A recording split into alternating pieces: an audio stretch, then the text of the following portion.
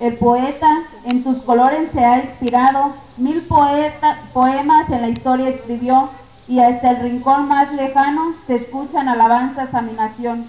Como buenos mexicanos entonaremos a continuación nuestro número, nuestro glorioso himno nacional mexicano dirigido por la alumna Ariana y la señora